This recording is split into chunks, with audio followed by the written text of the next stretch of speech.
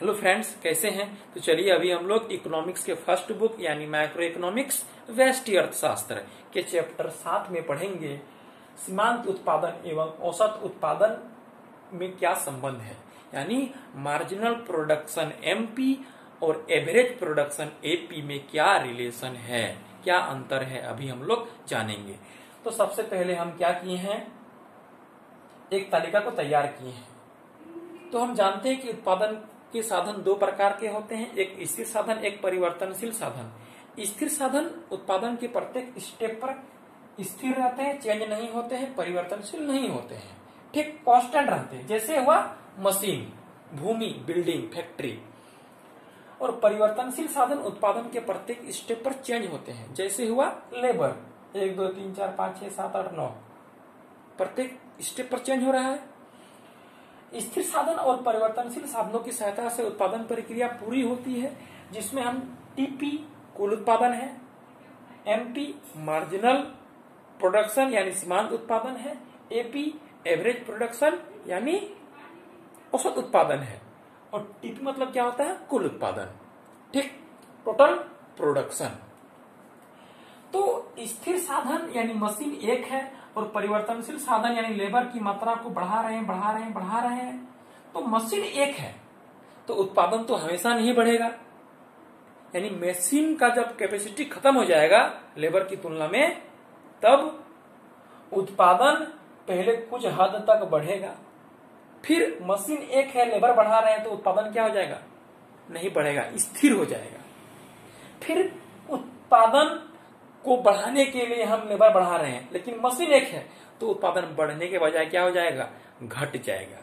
क्योंकि मशीन का कैपेसिटी जितना है, उससे यदि लेबर अधिक हो जाएगा तो उत्पादन बढ़ेगा नहीं, स्थिर हो जाएगा, हो सके घट जाएगा।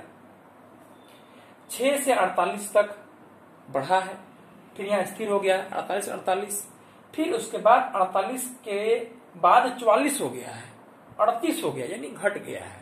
ठीक है, क्योंकि मशीन एक लेबर बढ़ा रहे हैं और बढ़ा रहे हैं तो उत्पादन हमेशा नहीं बढ़ेगा। टीपी की सहायता से हम एमपी निकाले हैं, यानी मार्जिनल प्रोडक्शन को निकाले हैं।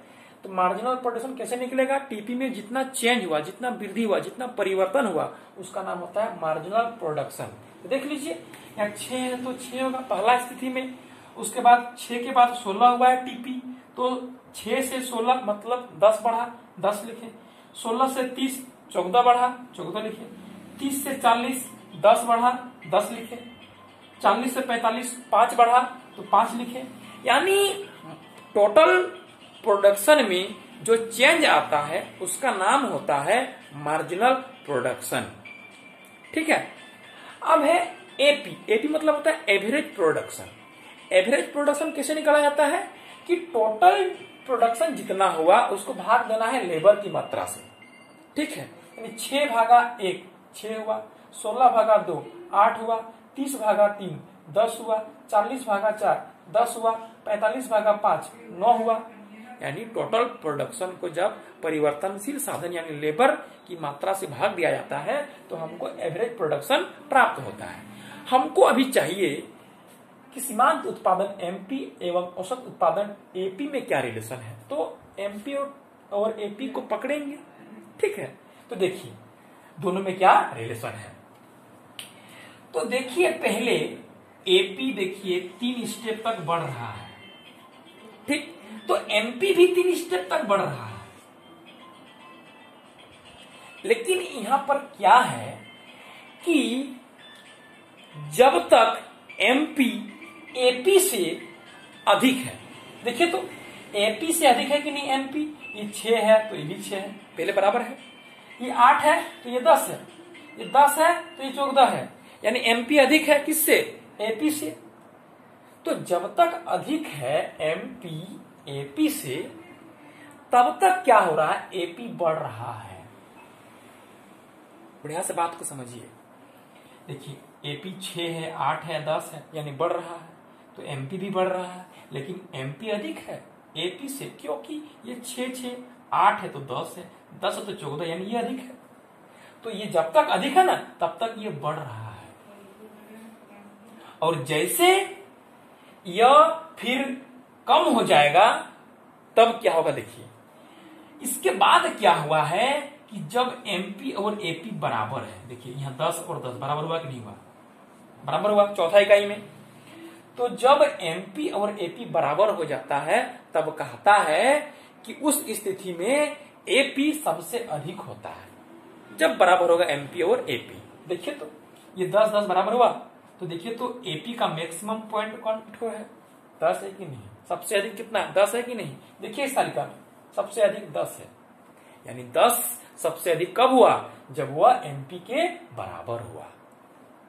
पहला बात जब एमपी अधिक है एपी से तो क्या हो रहा है वो बढ़ रहा है।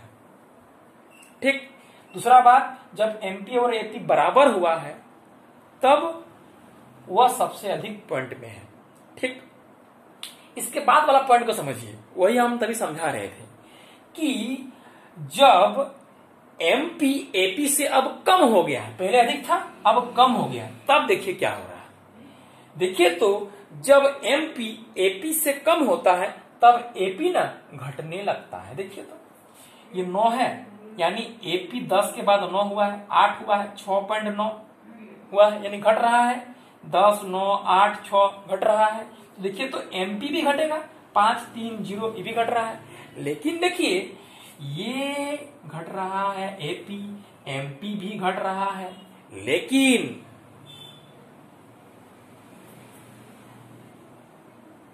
यहाँ पर एमपी कम है। किससे? एपी से। बढ़िया से समझिए, ये देखिए नौ है तो ये पाँच है, ये आठ है तो तीन है, ये छ है तो ये ज़ीरो हो गया है। यानी जब ना एमपी एपी से कम होता है, तब एपी क्या होता है? घटता है। देखिए, घट रहा है, एकदम घट रहा है। ठीक, यानी एमपी जब कम हो जाता है एपी से, तब ये घटना शुरू करता है। ठीक, लास्ट पॉइंट क्या बोल रहा है? कि एपी घटेगा और एमपी भी घटेगा। लेकिन एपी घटकर ज़ीरो नहीं होगा। नेगेटिव नहीं होगा। क्योंकि एपी तो टीपी पर डिपेंड करता है। टीपी ज़ीरो है तो एपी ज़ीरो होगा। टीपी नेगेटिव है तो ये भी नेगेटिव होगा। लेकिन टीपी नेगेटिव नहीं हो सकता है, ज़ीरो नहीं हो सकता है। इसलिए एपी भी ज़ीरो और नेगेटिव नहीं हो सकता है। लेकिन देखिए तो एमपी ज़ीरो भी हुआ है नेगेटिव भी हुआ है। यही चार रिलेशन है। क्या किया? फिगर में समझिए। देखिए, पहले क्या है? एमपी अधिक है एपी से। तो ये वाला ठो एमपी का रेखा चित्र है और ये वाला ठो एपी का रेखा चित्र है। ठीक है? पहले एमपी अधिक है एपी से, इसलिए एमपी का वक्र ऊपर बना है एपी का नीचे है। ठीक? यानी जब एपी से एमपी अधिक है तब एपी क्या होता है? बढ़ता है। देखिए बढ़ रहा है देखिए बढ़ रहा है।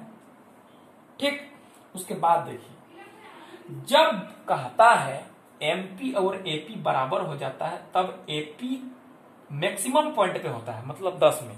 देखिए जब बराबर हो गया ना तो देखिए एपी का मैक्सिमम पॉइंट हिट हो है। उसके बाद तो ये घटना शुरू कर दिया है। फिर देखिए जब एमपी कम हो जाता है एपी से तब यह बेचारा घटने लगता है। घट रहा है। दस, नौ, आठ छ हो गया। ठीक। देखिए, जैसे यह कम हो गया एमपी एपी से देखिए एपी का ऊपर है और एमपी का नीचे है तो ये कम हो गया तो ये घटना शुरू कर दिया है। लास्ट पॉइंट एमपी घटते घटते ज़ीरो हो जाएगा नेगेटिव हो जाएगा। घटते घटते घटते पहले पॉजिटिव था। अब ज़ीरो हो गया नेगेटिव हो गया। लेकिन एपी ज़ीरो और नेगेटिव नहीं होगा, क्योंकि वह तो टीपी पर डिपेंड है। टीपी जिस तरह का होगा एपी भी उसी तरह का होगा। यही चार रिलेशन है। फिर एक बार बोलते हैं। जब तक एमपी एपी से अधिक होता है, तब तक एपी बढ़ता है। देखिए, बढ़ रहा है। जब एमपी एपी बराबर हो जाता है, तब एपी अपने अधिकतम बिंदु पर होता है। जब एमपी एपी से कम हो जाता है, तब एपी घटने लगता है। देखिए, ये कम हो गया। ये नौ, पाँच, आठ, तीन, छ, ज़ीरो, कम हो गया। ये घटना शुरू कर दिया। अंत में जब एमपी घटकर ज़ीरो नेगेटिव हो जाता है तो एपी भी घटता है, लेकिन वह ज़ीरो नेगेटिव नहीं होता है, क्योंकि वह टीपी पर डिपेंड है। यही चार संबंध है, सीमांत उत्पादन और औसत उत्पादन, यानी एमपी और टीपी के बीच। मिलते हैं आने वाले वीडियो में।